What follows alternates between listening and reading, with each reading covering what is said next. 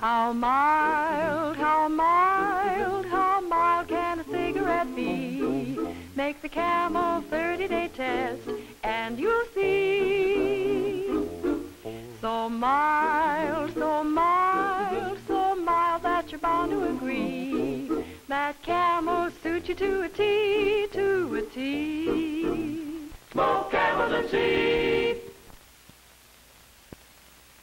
You know, each week the makers of Camels send free cigarettes to hospitalized servicemen and veterans.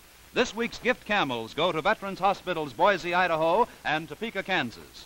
United States Army Air Force Station Hospital, Westover Field, Massachusetts, and the United States Naval Hospital, Quantico, Virginia. The Camel people have now sent more than 190 million gift camels to servicemen, servicewomen, and veterans.